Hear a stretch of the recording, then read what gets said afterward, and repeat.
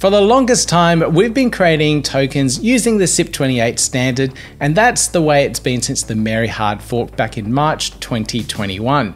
Now we have the CIP68 standard, a brand new way of creating tokens, and that brings in a whole bunch more metadata, brand new smart contract interactions, and of course, upgradable data on those tokens, NFTs or fungible tokens, whatever they are. Now, this, this is a cool new project that has come up, a brand new service, I should say, and they've put together this platform where you can mint your CIP68 token. So there's CIP68 NFTs out there. I use Saturn NFT for my own NFT collection, the Cardano Press Wapus, where you can interact with a smart contract and upgrade that NFT over time. You can do some really cool things with it. But now you can also do that with tokens, and it is now the recommended way of actually going about and creating a token on the Cardano ecosystem. So I'm going to go through and talk a little bit about this so that you have a better idea and understanding of how things are evolving in the Cardano space and why they are doing so this way. So for those that are new to the channel, I'm Peter Buie please consider hitting that thumbs up, the subscribe button, and notification bell on your way in. I'm here to try and educate you so you learn a little bit more from the technical side of things in the Cardano ecosystem, as well as all these real cool new innovations that are coming out there. Now, this brand new platform that has come out, it's called White Rock, and I'll bring it up on screen here.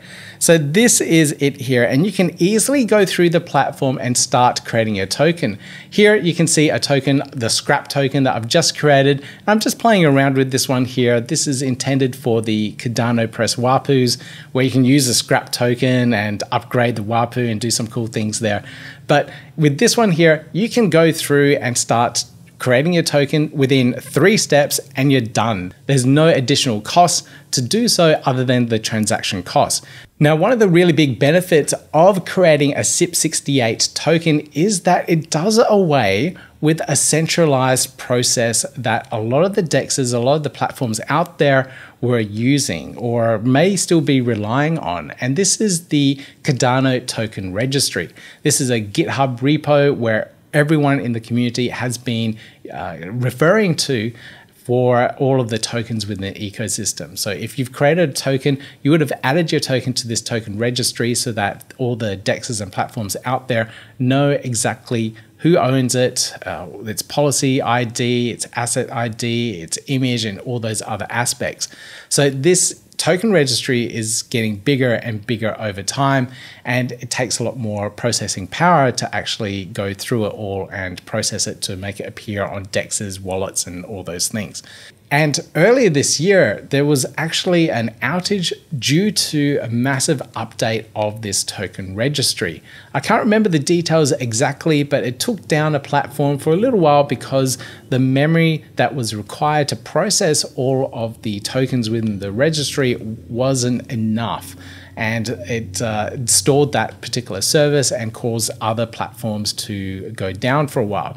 So this is definitely a central point of failure and taking all of this data and putting it on chain through the CIP68 metadata is a really good upgrade process and all the dexes and platforms out there are starting to use this brand new metadata standard so i'm all for this i think it's really good for the ecosystem taking away some of those centralized processes and putting it all on chain is a really cool thing.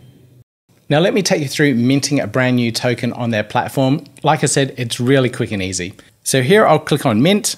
Next, you need to give it a token name. This will appear on all of the explorers.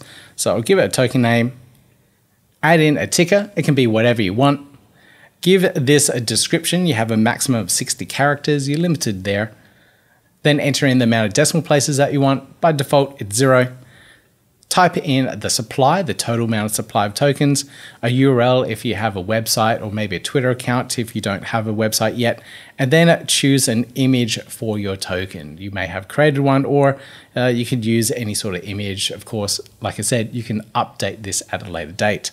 So these are the upgrade options that I was talking about. Here you can submit your token to the token registry. Now this token registry is a off-chain database of all the tokens within the Cardano ecosystem. So this is a library. It has all the correct URLs, policy IDs, uh, unique uh, websites and Twitter accounts, whatever it might be, and images for these particular tokens. So this is the old way. This is the standard way that things are doing at the moment. And you can use this method still to submit your token and have everything in the token registry there as well. So there are some platforms that um, haven't upgraded this yet, so they still need to use the token registry. The next part here is that research tweet. You can put that uh, option in and you'll get the extra promotion through their Twitter account through uh, White Rock. The last option there is to save the policy keys. So that is an option to save the policy keys. And you can see here, you can access your keys anytime from our platform, self-custody by default if token register if no token registry submission. So you do have all those options there. So I'm not going to click anything. I'm just going to click on save policy keys for now. Click next. And there you can see the uh, general breakdown. You can see all the order summaries. Check if they're all correct. And then you can see that the fee is zero. So I can mint that now and the transaction comes up in my wallet and it's just the uh, amount of ADA that I need to uh, move with the token as well as the transaction fee, which is just over 2 ADA there. So I'm just going to sign this transaction saving the keys, and there we go. So I can download that key and save it to my device so I can get back to it at a later date. So now once you've minted your token, your token will appear within a few minutes on the platform and you're good and ready to go.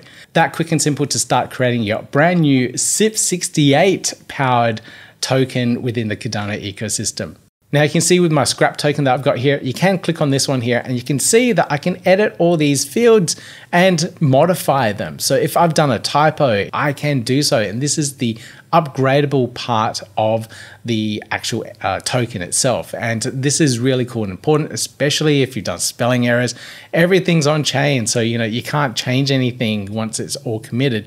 But in this case, you can because it's an upgradable uh, token. So this is really cool for any project that is evolving. You have a DAO controlling it, and there's general consensus in the long run where it needs to be changed or modified or whatever it is. Or if the token does evolve and you want to upgrade the graphics to it, you can do so this way too. Other projects on Cardano, for example, may have minted their tokens without decimal places and then have to go through an upgrade process to upgrade to the next version. So there's a lot of reasons why you want to be able to change, modify, and upgrade your token in the future. Big shout out to Nido, who also made the backing track for this video as well. If you haven't seen his work in the Cardano ecosystem, links all down below for you. And if you want to start minting your own token using this White Rock platform, links also down below for you, as well as all the resources that you need to learn more about the CIP28 uh, token registry, how things are done currently, and a little bit more about CIP68. I also did a video with Nick from Saturn NFT about CIP68 NFTs. Make sure you check out that video too. Now, if you enjoyed this video, make sure you give me that thumbs up. Really thankful for all the support and all the views I get on this channel. Really appreciate you guys. Hit that subscribe, hit that notification bell, and I'll see you in the next video.